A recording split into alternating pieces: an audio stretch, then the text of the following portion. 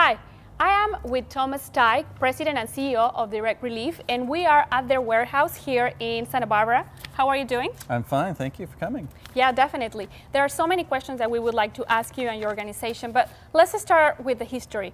How did uh, Direct Relief started here in Santa Barbara?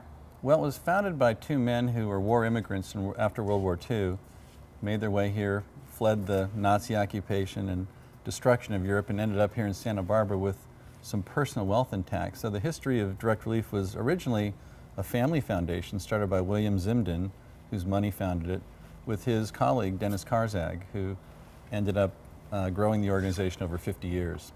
Now, what's the mission nowadays? I know it has moved through time, right? Yeah, it's basically how it started to make sure that people who find themselves in vulnerable situations, either because of a wartime situation or just chronic poverty, can get medical care that otherwise wouldn't be available. It's still a chronic challenge in the world that people who are poor mm -hmm. uh, often don't get the care that they need because they can't pay for it, their governments can't pay for it, or there's no social service safety net. So that's why nonprofits exist generally, and what Direct Relief has been able to do extensively for the past 61 years. Now, this building is huge. You have a lot of, why don't we go and walk sure. a little bit? Items that you have here, mostly medical, right? Almost exclusively medical. Um, the, the, entire warehouse we have mm -hmm. here and across the street, there's over 50,000 square feet of warehousing that contains all sorts of prescription medications because we're a licensed pharmacy mm -hmm. wholesaler, and, as well as supplies and surgical instruments and the things that can equip a basic health facility Sometimes we stay away from the very sophisticated equipment because of some of the challenges of maintaining it, mm -hmm. but really we're trying to strengthen the primary care services available to people in emergencies and also just in areas of poverty. So tell me, how do you get funded? Well, we're entirely privately funded, so all, mm -hmm. we don't have any government support or contracts, so it all comes from private individuals, businesses, foundations, um, and that's been that way for a long time. So you know, it's a constant challenge to stay in touch with people, find people who might be interested in supporting our work, and also through our website, people make contributions. Google has been a tremendous supporter of ours mm -hmm. from a corporate side, gave us an aggressive or sophisticated online presence so people could find us through the different search engines that exist, or primarily Google. And that has just been a tremendous boost to our organization to raise the funds necessary to pay for all the work involved with uh, not only getting the material in, but getting it out and identifying the people who can put it to good use. So uh, it's an ongoing challenge, as it is for many organizations to do it, but we've been fortunate to have great supporters and a great board of directors who really lead that charge each year. Now, I have a question about um, like choosing where you will be lending your help because there are so many people in need. How, how do right. you decide? Well, it's a good question. And what we always do is uh, we have a a methodology that tries to identify the areas of greatest need. And for us, it's really important that we identify people who, who work there, who are committed, live in the communities, and we're a support organization for them.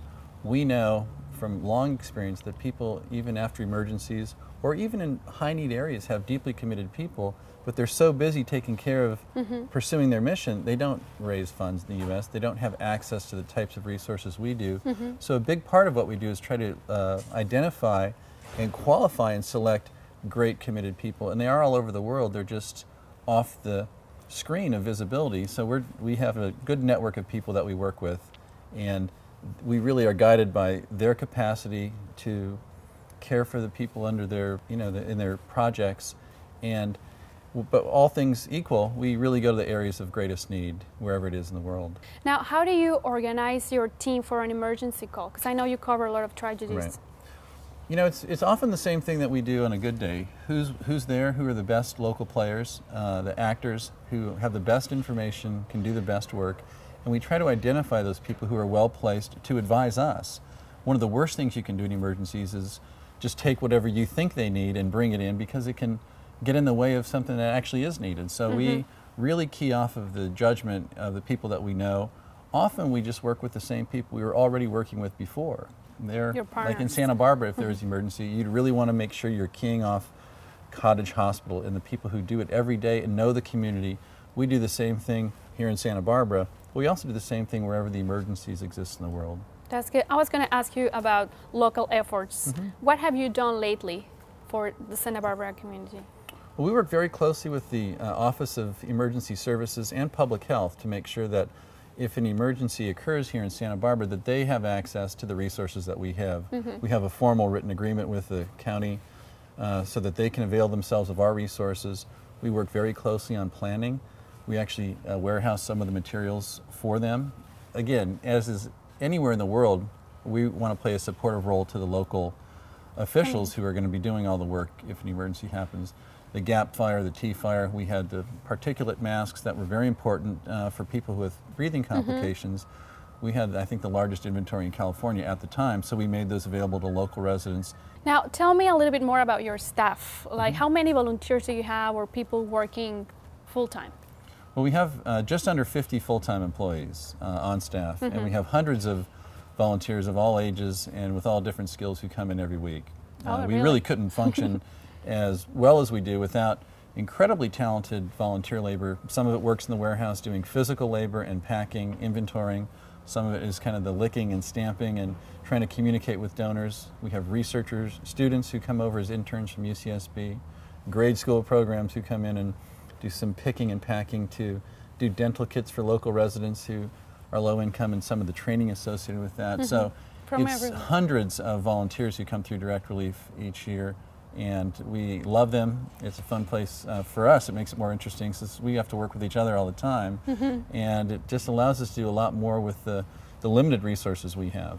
Well, thank you very much. And lastly, can you give us the website where people can get more information? I can. It's directrelief.org, and our phone number is 964 4767.